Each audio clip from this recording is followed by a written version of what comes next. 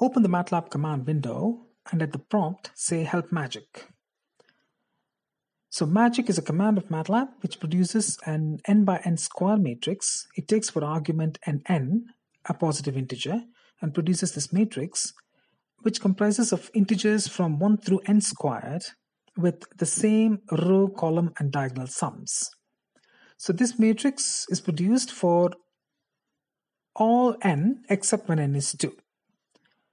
So that's how the command magic of the of the MATLAB works. It produces this n by n square matrix with those properties. Let's look at some examples.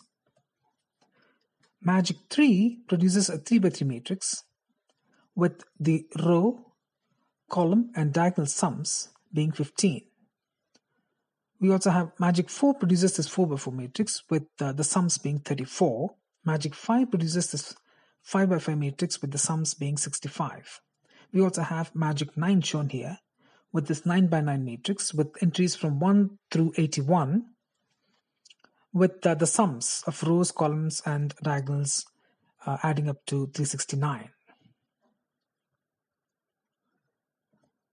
So let's look at Magic 3 in some detail. So you have uh, these entries 816, 357, 4, 9, and 2. So these are the row sums, column sums. They're all shown by crossing lines. So there's a line crossing going over the diagonal entries, second diagonal, and the it's easy to verify that the sums add up to 15 for each of these combinations shown by these lines. So for the 3 by 3 matrix, we have 1, 2, 3, 4, 5, 6, 7, 8 ways of grouping the numbers from 1 to 9 with the sum within each group being the same. Here, 15.